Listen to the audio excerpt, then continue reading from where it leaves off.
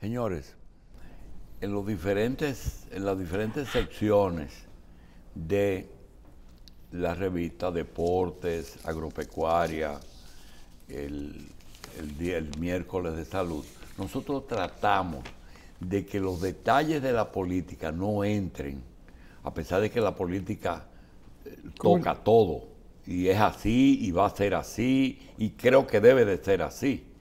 Hoy decíamos que es aniversario de Ercilio Velos Burgos, que fue de aquellos productores de televisión que pensaron, se cansaron de denunciar cosas y se dieron cuenta que desde un medio no se podían cambiar las cosas si no es desde la política y participó en un movimiento de tipo político, no logrando sus objetivos y siguió siendo el gran productor o uno de los grandes productores tradicionales de aquí.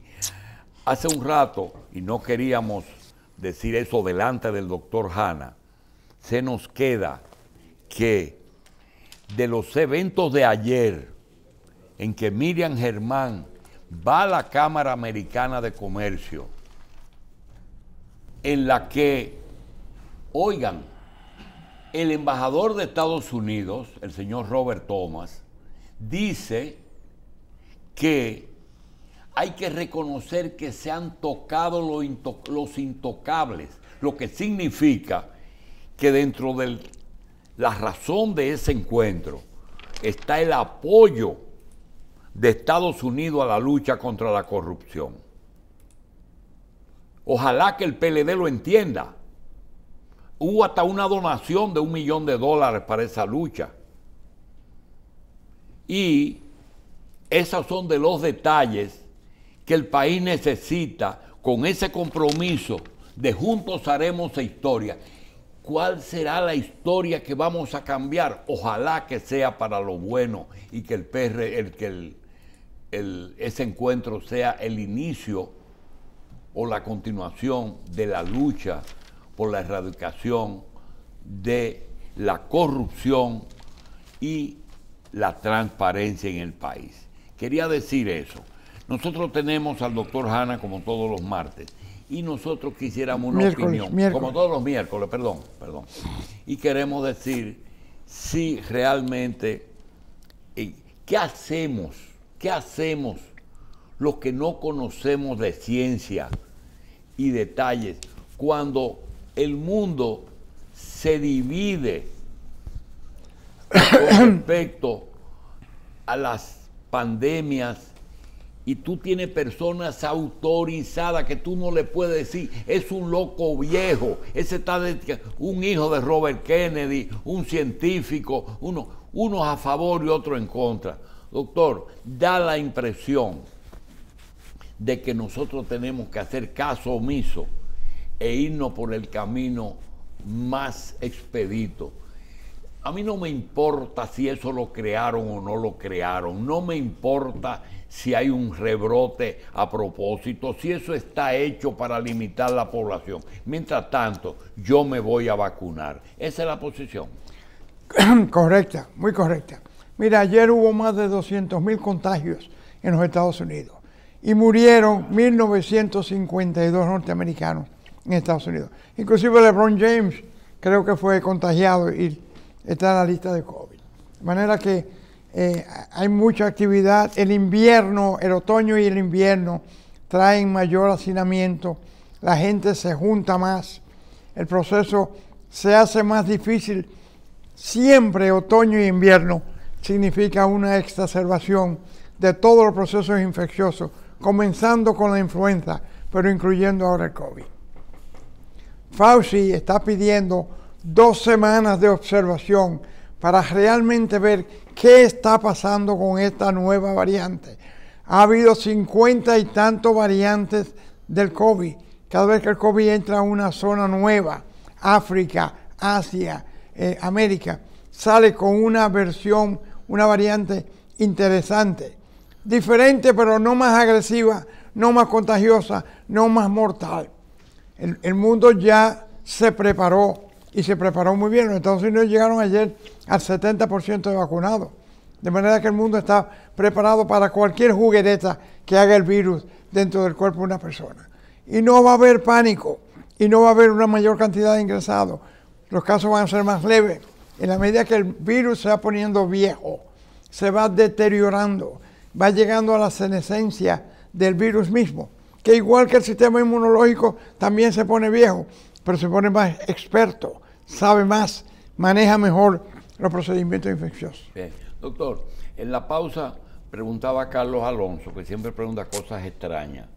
Decía, si en la visita me que el médico, sabe que la enfermera está 24 horas con el paciente interno, pero el médico hace ¿Qué una fiscaliza el visita. médico?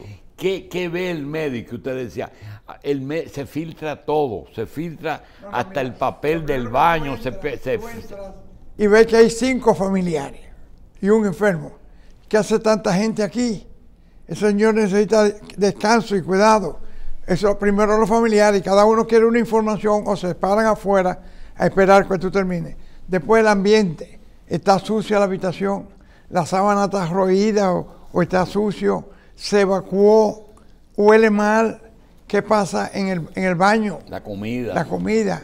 Hay agua tibia para ese hombre bañarse. Porque todo eso. Hay gente que no tiene agua caliente en su casa, pero cuando van a la clínica quieren agua tibia por la mañana. Hay gente que no tienen aire acondicionado, pero lo primero que te dice, doctor, el aire sonó la noche entera o no funcionó. y el televisor no. Oye, la visita del médico no solamente con, con el paciente y su enfermedad, todo el entorno entra en esa la primera- pregunta viene por lo siguiente. El efecto dominó que produce una pandemia, como por ejemplo una Navidad más, una Navidad más cara, la energía más cara, alza de precios, eh, problemas familiares, el año escolar tuvo malo, todo ese resultado incide en la salud. Claro que sí. Mira, hoy mismo se está reportando un aumento de un 53% de los casos de depresión comparado con el, comparado con el 19. Los suicidios han aumentado. El número de huérfanos es incontable. La cantidad de gente que perdieron. Cada mes, 4 millones de americanos se van de su trabajo y dicen que no vuelven. No van a trabajar más. Lo perdieron todo. Perdieron los ahorros, perdieron la mujer, los hijos están en desbandada. No se sabe lo que está pasando en una sociedad tan crítica como la norteamericana. De 300 millones, 4 millones... hay todos los meses abandonó su trabajo. Y hay que salir a buscarlo a Dominicana, a México, a Guatemala, a donde quiera que aparezcan. Gente que estén dispuestos a trabajar. De toda, es una, Dejaron todo. es una pandemia. se- Lo perdieron todo. Perdieron el empleo, le llegaron dos cheques, pero hace seis meses que no le llegó un cheque. Y eran chequecitos de 1.200, 1.300 pesos. Le, checan algunos, le llegan algunos chequecitos por los, por los hijos. Pero el pueblo no puede vi- vivir de cheques de gobierno. Pero una pregunta que viene y que es un poco médica, que vuelve y hace Carlos. Cuando tú estás acostumbrado a un estatus y, y el estatus no es malo, descender un poquito se considera un fracaso. Terrible, terrible. Sobre todo la mujer. Eso, Oye, cuando tú llegas a la casa le dices, mira mi amor, eh, No, las vacaciones que tenemos planeadas vamos a dejarlas porque yo no voy a trabajar. Eh, la cuestión del supermercado, el, el- el salón, tú tienes que ir una vez al mes, no dos veces al mes. y mira, cualquiera la acepta, menos la esposa. Quiere llevar a la mujer a lavarle la cabeza a él. No, oye, eso No, de- no. Ey, ustedes, están- ustedes conjeturando. Lo que pasa, yo estoy hablando de un asunto de... No, pero él propuso No. eso. Dice comprar un blower. Ustedes están conjeturando, doctor. Yo lo que estoy diciendo es en sentido de aprovechamiento del tiempo más que de la economía. Pero lo que yo decía, el origen de la pregunta es, no acepta que yo la- veo- el, el degrado. doctor, pero en una ocasión como esta, que por causa de fuerza mayor, por pandemia, por desempleo, eh, No, no, eh, no. se van perdiendo Sí, no acepta Eh, el degrado. Ah, no, diciendo. eh, la degradación, conchale, de que, por ejemplo, hay que cambiar a los muchachos del colegio, no podemos ir a comer una vez a la semana en un restaurante, esas cosas así. Esas son cosas que la gente puede llegar a acostumbrarse a ellas o siempre vive con esa aspiración de volver a estar como estaba. El doctor Hanna te dijo, aplícalo a lo que hizo Hermida González en el gobierno de Jorge ¿Qué fue? Él no metía preso a los policías, los que cometían. Él los degra- degradaba y los sacaba. Era y no, peor. Y no aguantó eso, Ah. porque parece ser que hay un sentimiento en que el ser humano no baja de rango. Hermida vivía en la misma calle, Sí. de Tellezada que yo vivo. sí. Y él, al otro día de nombrar a los jefes de la policía, no se podía caminar por la acera. Porque había policía, no, no, porque había sacos de plátano, sacos de yuca, sacos de. Ay, Dios, de todo lo que le llevaban Y todo lo que le llevan es un jefe de la policía. Anda. Es terrible. No, Doctor, pero oye, la gente doctor, Y metiéndolo, metiéndolo un poquito en política.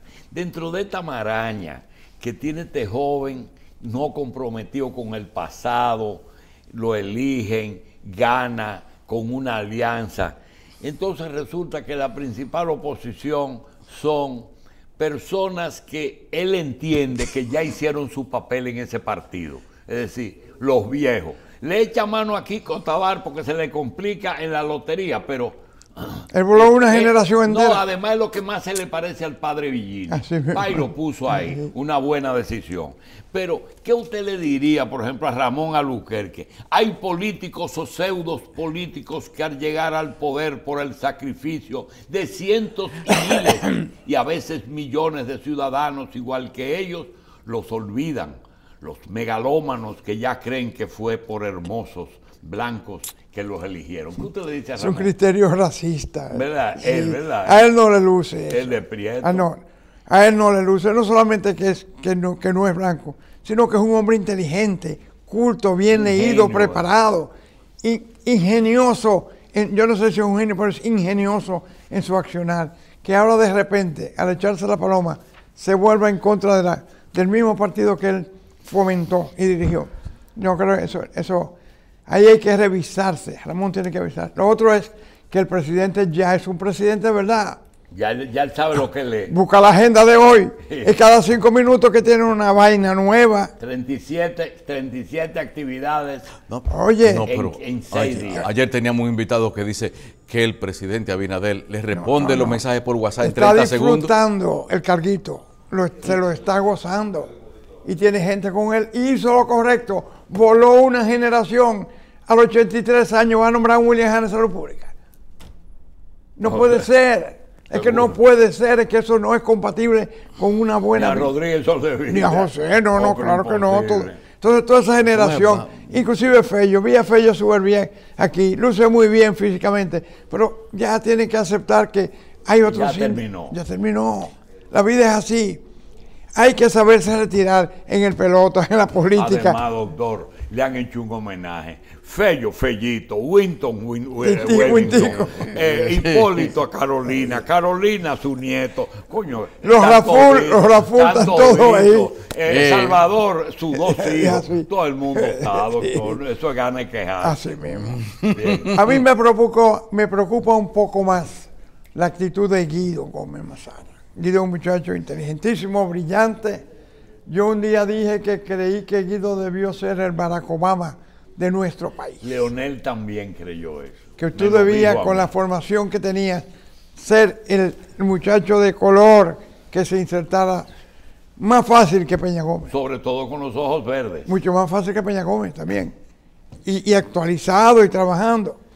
Y yo creo que puede trabajar en dos direcciones. Se está para, que- equivocando, doctor. para Se crearse está para sí, para sí mismo. Va iba en un buen camino y cogió otro. Lo- el otro que puede ser para reforzar el partido. Él puede asumir la presidencia del partido. Bien, yo quiero preguntarle al doctor algo que a veces temo que me equivoco. Digo, yo le voy a preguntar a William, Sí. porque el doctor Hanna a veces me dice cosas que me corrigen la dirección. ¿Por qué todo, con todo el presupuesto del mundo que maneja las Naciones Unidas, no se les ocurre construir cinco hospitales en la frontera, en el lado haitiano, pero- con personal dominicano? Ni la OEA, ni la ONU jueguen el papel que el destino le tenía deparado. La OEA, si no ha desaparecido, porque tú algún día la mencionas por aquí por la mañana, pero eso no sirve para nada ya. Y desde el ataque a Irak, los bombardeos, la cuestión de armas nucleares, la ONU perdió el prestigio, no tiene la moral necesaria para hacer ese tipo de cosas. La, more- la- la ONU va a hacer una, una dirección de orquesta para que uno toque y otro toque. Pero eso, eso va de mal en peor. Otra cosa. Yo siempre he dicho, porque usted fue el que creó aquello de que podíamos sustituir los muchos viajes a Estados Unidos haciendo grandes centros por especial. Lo que estamos haciendo ahora, una unidad de quemado, un, un instituto cardiovascular, lo que se está pasando. Más de una unidad. de ¿Por quemado. qué no? Y aún, sin embargo, cuando usted tiene esos monstruos que lejos de haber aportado mucho, lo que han creado es la casi la desaparición de aquellas clínicas privadas que están hechas con esfuerzo y que no tienen posibilidad de renovación. Tú no consigues una resonancia magnética en la Avenida Independencia. Tienes que ir a, a- diagnóstica. Yo pregunto, los fondos de pensiones, que todo el mundo quiere que se usen en vivienda, que se usen en otras. ¿Por qué no se usan en, en- en la, en- se autoriza a que se usen en la renovación de todo el sector privado de la medicina? Mira, creo que fue Leonel Fernández en el 2008 que decidió equipar los hospitales públicos mejor que lo que estaban las clínicas privadas. Sí, y desde ese momento comenzó un despegue total del sistema público de salud en cuanto a aparataje No, quien decidió eso fue Monseñor Nicolás de Jesús López con el con con el. Sedimat. Claro, ahora Sedimat es una obra de Balaguer. Y, y- y la hora de Plaza de la Salud, ¿de quién es? ¿De Leonel de Balaguer o, o del sector privado? Eh, Eso es Balaguer, todo Balaguer. Plaza de la Salud. Sí, señor. Bien. Balaguer. Todo es Balaguer. Es más, nosotros queríamos construir un hospital pediátrico oncológico para cáncer de niño. Ayer vi a una, una doctora que se llama Wendy Gómez, Sí. que aparentemente está trabajando con oncopediatría, pediatría de oncología de pediatras. Y lo teníamos reseteado entre Plaza de la Salud y Sedimar y aprobado por el cardenal. Lo único que me exigió era que él iba a ser el presidente del Consejo de Administración de esa institución. Y se abortó porque miembros de la Cámara de Diputados lo que querían eran dineros para ponerlo en agenda, ni En siquiera un acto de ese tipo. en un acto de ese tipo. Bien. Eh, doctor Hanna. Hoy no tenemos oncopediatría oficial, masiva, porque eso fue abortado a ese nivel. Vamos a hacer una pausa y regresamos con el doctor Hanna.